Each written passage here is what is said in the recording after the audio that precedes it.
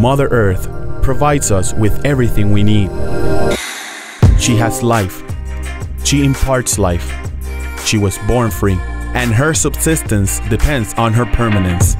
Mother Earth is a living being. That is why we are called to love her, respect her, guard her, protect her, and behave fraternally with her and the other beings that inhabit her. This and other considerations are part of the exposition of motives that the Global Embassy of Activists for Peace presents in the proclamation of the Constitution of the Rights of Mother Earth.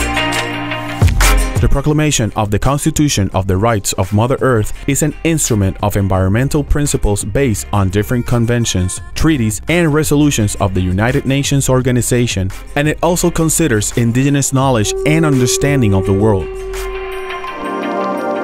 This document establishes the world's recognition of Mother Earth as a living being and its inalienable rights with the purpose of converting into a reference of ethical and environmental principles and values that helps humanity to awaken love and harmony for the only home we have.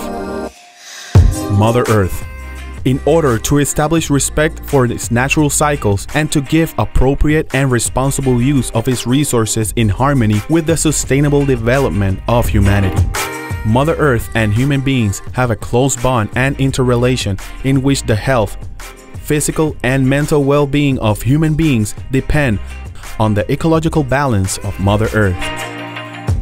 The worldwide recognition of our Mother Earth as a living being creates the basis for the establishment of her rights so that they may be respected, guarded, and protected by all human beings.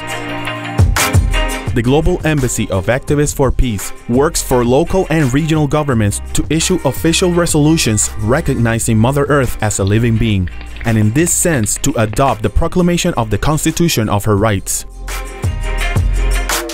Go to geapeace.com and leave your electronic signature in support of the proclamation of the Constitution of the Rights of Mother Earth to contribute towards the environmental well-being of present and future generations.